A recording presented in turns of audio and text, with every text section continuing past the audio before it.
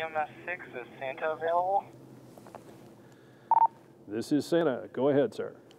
Along with bringing gifts to all the boys and girls in the world, Santa has a very special task at hand in Hampton Roads this Christmas.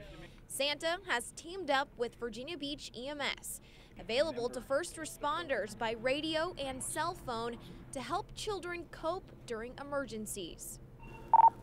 Hi, Santa. It's Mackenzie. Um, my NFL. Hello, Mackenzie. Yes, I just heard about that over the ElfNet. Since 2004, Santa has taken calls from frightened and worried children, calming them down and giving a little Christmas cheer after having to call 911. The reactions have gone anywhere from uh, continued crying, mostly because the child is, is very confused and, and may not know what's going on, to children coming back over the air and crying out, Merry Christmas or I love you, Santa. That one gets me right here every time. Since the program started, Santa has talked to about 100 children.